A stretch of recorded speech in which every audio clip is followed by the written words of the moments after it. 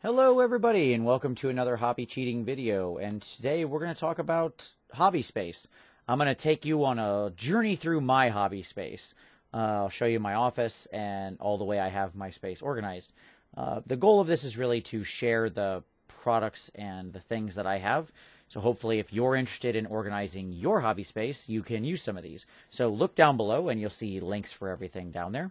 Uh, but as always, I hope this is certainly helpful to you. The goal isn't here isn't really to show you what I'm doing and say you should do this too. It's to give you ideas because I really do believe that an organized hobby space is a good hobby space.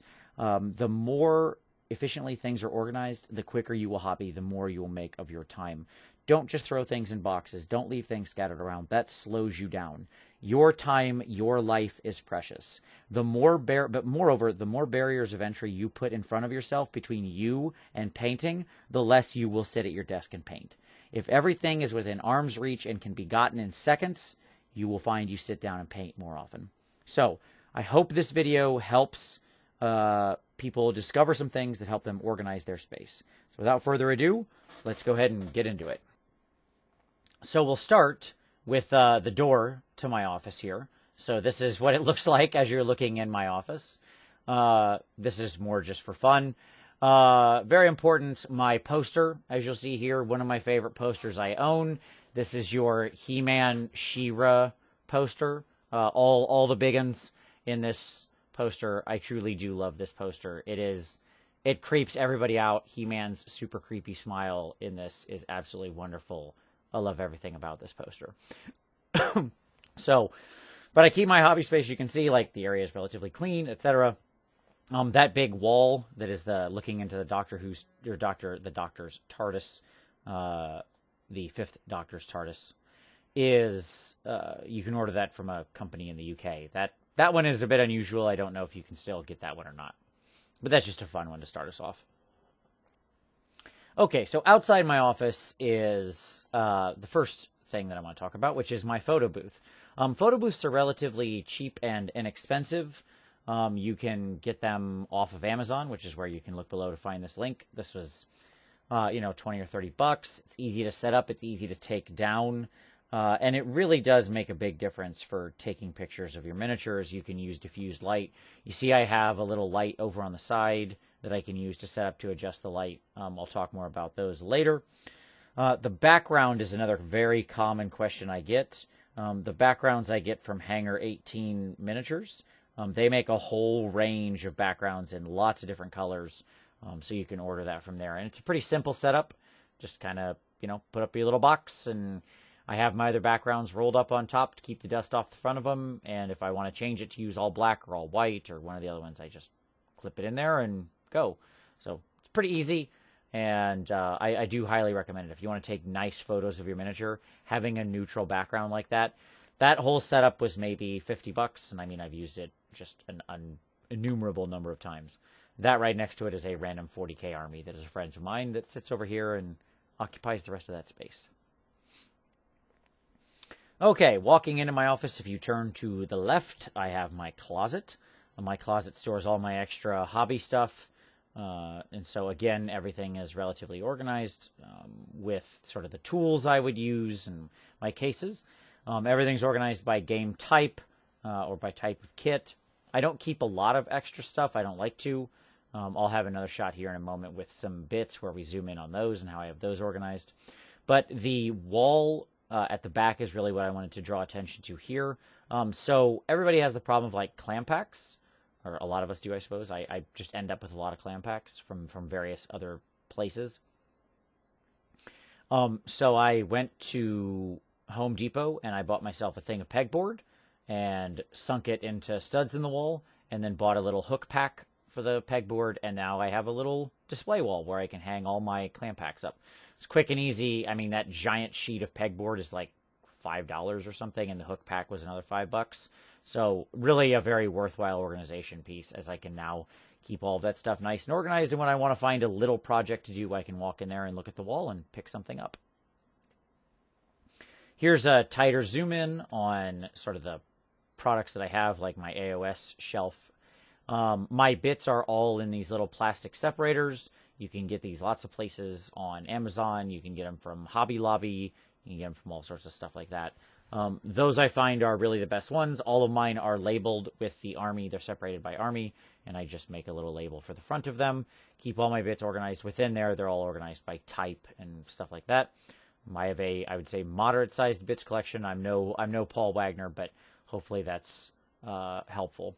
I, I really do recommend like separating them as opposed to keeping them all in some chaotic big mess or on sprues. It just makes it easier to find the bit you need uh, when you need to go dig for them later. All right. This is also where I hang my extra aprons. Turn around from there, and what you get is my wall. Uh, so these are, and what I wanted to call attention to here, uh, in addition to thanking my wife for that super sweet Sisters of Battle poster, uh, is the these little cases.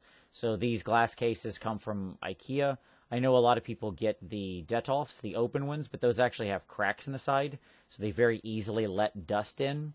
These are lockable cases that are more or less sealed, like there's not much in the way of open space, so they will keep like 99 point something percent of the dust out. Um, so this is where I keep all of my armies. They're all organized, obviously, by you know the army itself uh, as well as sort of the competition pieces, which is what's in the left one. But I use this to keep the armies, you know, separated and, and easy to access and bring out to put on the table. Um, these things are a really great investment. You, it keeps your figs nice and clean and dust free. They look really good. I think they display well. The the dark blue ones you see there actually are open on top, so they let a lot of light in uh, because that top is glass. So and and they can be adjusted with shelves to have lots of different sizes to them and stuff like that. Those shelves are fully adjustable.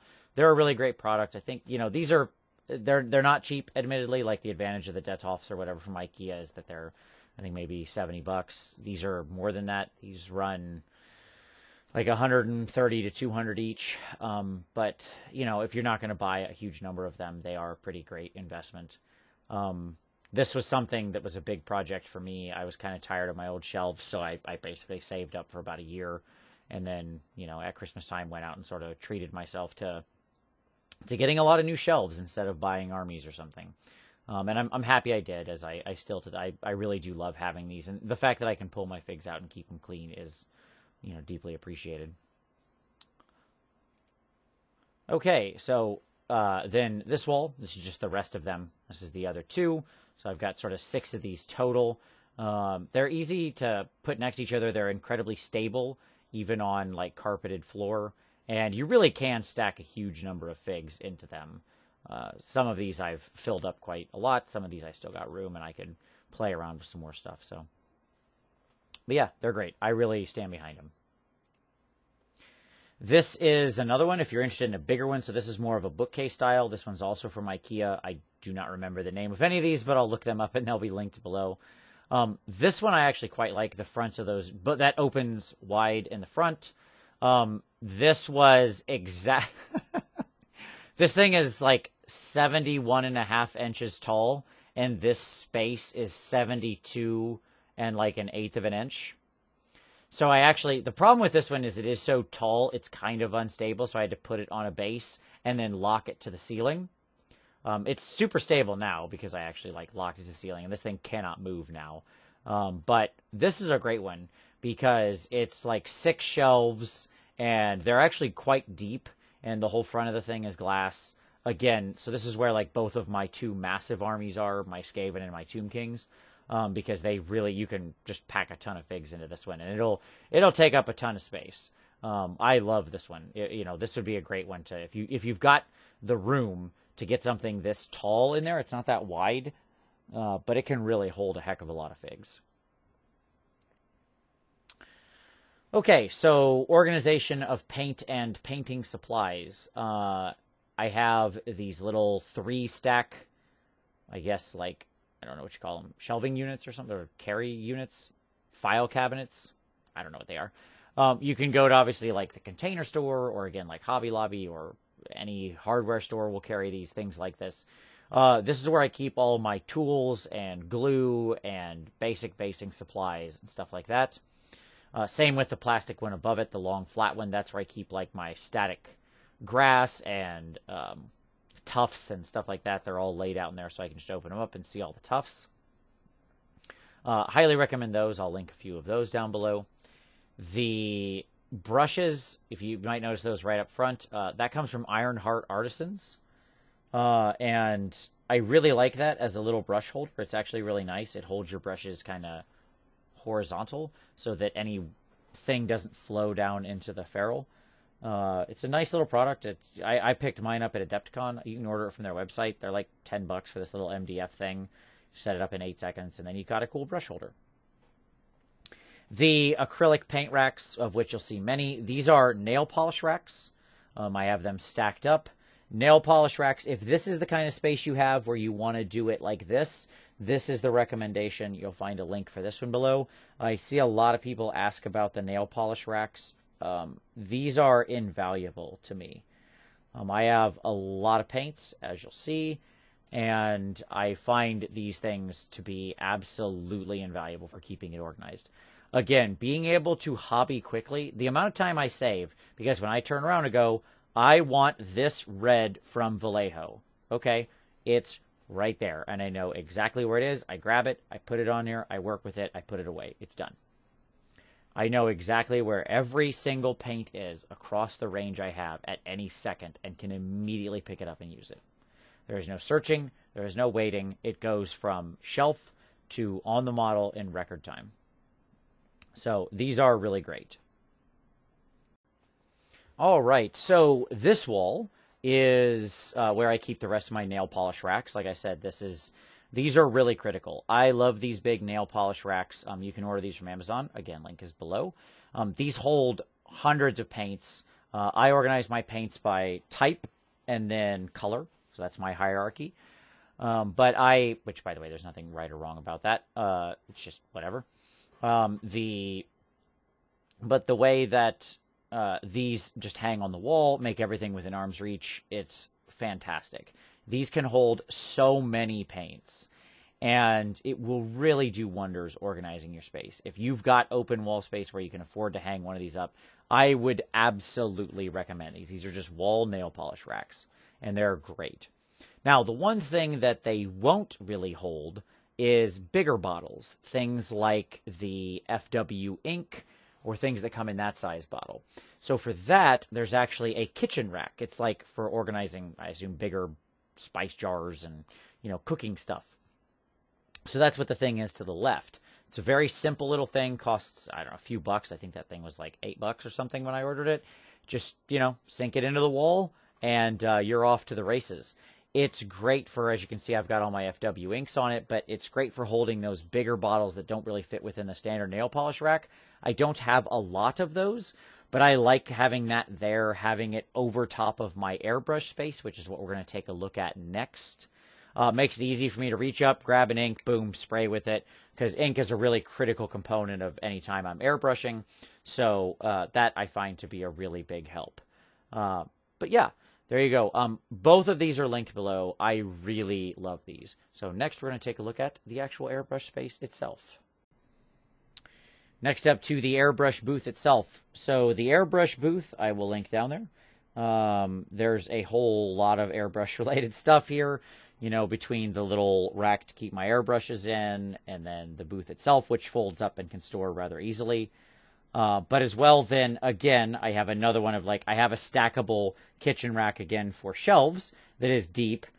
And so that's where I keep all my airbrush related stuff. So the cleaner and the flow aid and you know kind of everything that I have there related to that, my dull coat and all that sort of stuff. Again, everything I would need to airbrush is right at arm's length when I want to airbrush. Um, this space could probably use with a little cleaning up. I do tend to work a little messier in my airbrush space. Uh, but as well, little shout out for Silly Putty. If you want to keep an easy masking agent, that's what that little purple egg is. I keep a little egg of Silly Putty under my airbrush booth. If I need to mask something quickly, pop the egg, pull out the Silly Putty, pop it over the top, spray, pull it off, done. You can mask in seconds and it doesn't leave anything behind on the model. So always fun and easy. So then our last shot is sort of the all-in space, as you can see with the all-important Diet Dr. Pepper there, a critical component to any uh, to any space. Uh, I'll just call out my lights here on the last one. It's very important to have good light. My area where I work from is absolutely flooded with light. Um, so I have a light directly above me in the ceiling that is a 100 watt daylight balanced bulb. I have those two lights you see above my monitor, which are both the little. I went and bought those little uh, lamp clips for six bucks from Home Depot. Um, and then one of them has a daylight balanced bulb, and one of them has a yellow balanced bulb. Um, and the reason that I did that is because you do want a bit of more natural yellow light in your room. You'll notice neither of them are actually pointing directly at my workspace, but they're pointing at the white wall to diffuse the natural light. So what I get is an area of lots of ambient natural light coming from all directions, which is what I'm aiming at. And it's a mix of both yellow and blue light. Um, for direct light on my desk, I have the OttLite. Um, that is, I see a lot of people ask about desk lamps. I, I love lights I have this one and a little travel one. Um, I they're pretty fantastic. They last a long time. They're very bright and they are wonderful for the space. Um, so I, I really do love the OttLite. I find it to be a pretty great uh, lamp for painting. That's basically it. That's my hobby space. Like I said, I'll throw all the links down below. Um, I'm lucky that I've got this big office to to work from, um, where I you know sort of set up and go.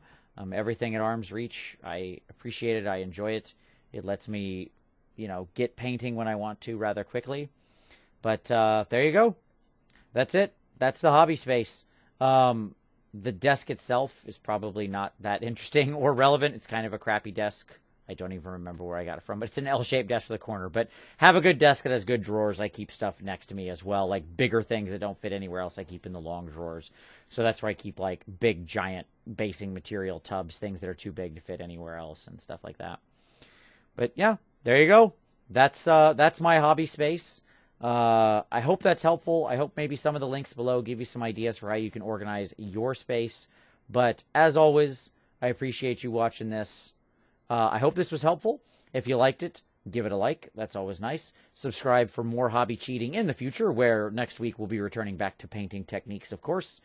And uh, if you're something you want to see me cover in a hobby cheating video, feel free to put that down in the comments. I'm always happy to uh, respond to user requests. But as always, I thank you for watching this one, and we'll see you next time.